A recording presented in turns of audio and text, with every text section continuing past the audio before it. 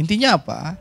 Kita ingin membangun bangsa ini dilakukan secara bersama-sama dengan semangat gotong royong.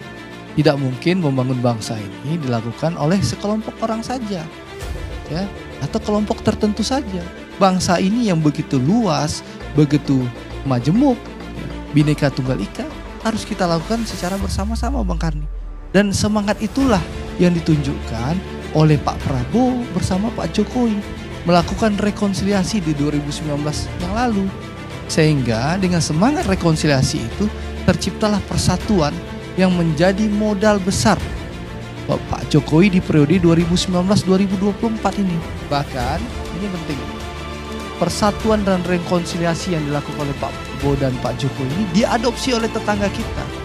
Malaysia. Kita tahu barisan nasional dan pakatan rakyat itu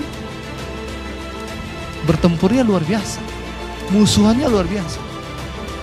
Musuh bumi. Tapi mereka bisa bersatu dan mengantarkan Anwar Ibrahim menjadi Perdana Menteri Malaysia ke-10. Itu meniru persis rekonsiliasi Pak Prabowo dan Pak Jokowi. Jadi negara ini butuh persatuan Bang Karim. Itu modalnya.